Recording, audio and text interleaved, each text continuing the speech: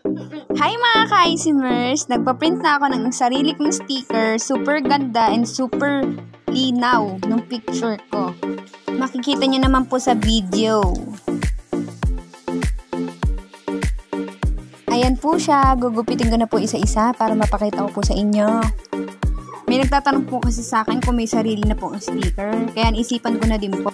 Pero matagal ko na po siyang ginawa. Ngayon ko lang po nasikasong ipaprint.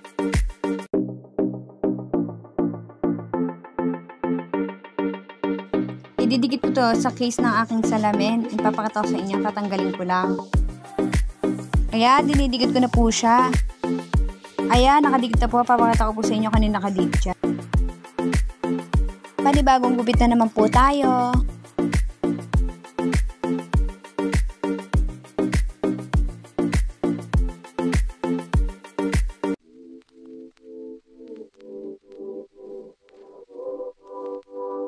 Kahit po dati nung bata ako, gustong gusto ko na po talaga magkaroon ng sticker ako ng sarili ko lang po. Yung sarili ko pong mukha and pangalan ko po.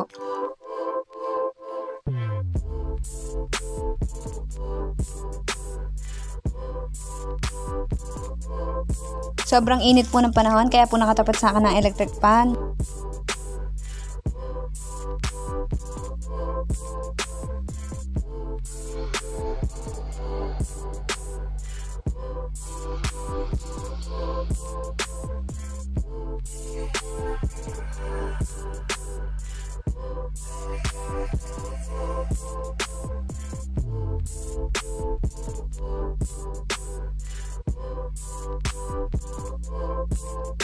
Ayan, medyo madami-dami po po ang gugupitin ko. 2 copies po ang pinaprint ko para madami-dami po.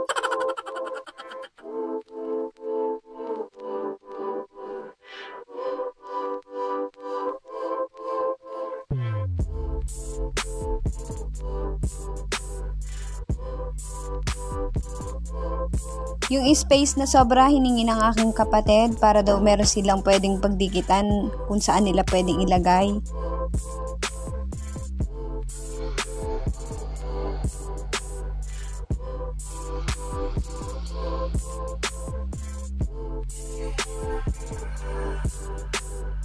BC Yarn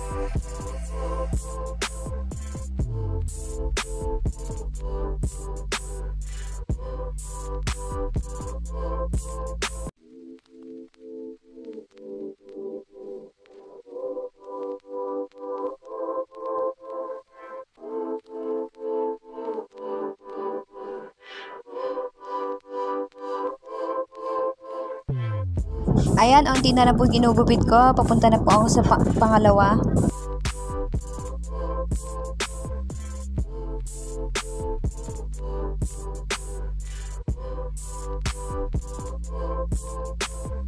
Ayan po, yung pangalawang papel na po yung ginugupit ko.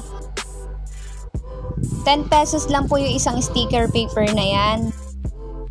Pinapuno ko na po yung isang sticker paper na yan ng marami para po hindi sayang yung papel. Kila Jerry ko lang po ako nagpagawa niya. Napakamura lang po and sobrang ganda po ng pagkakagawa.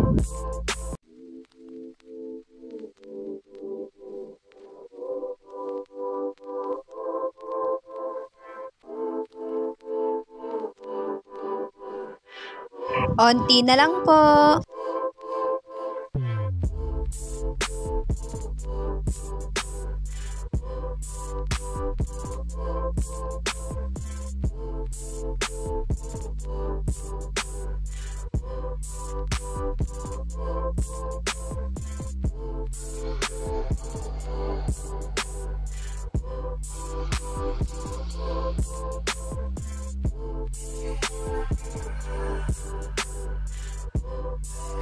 Sana po nag-enjoy kayo.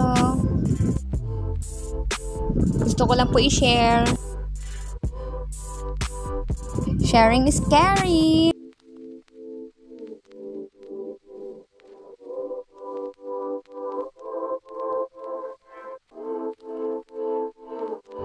Ano, chika?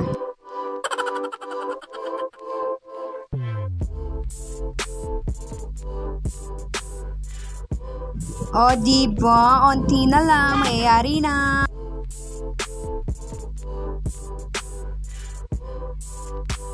Ayan, tapos na po ako. Tatlo po pinagawa ko, isang Facebook, isang YouTube, and isang iSimmers.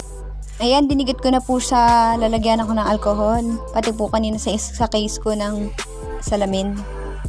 Done!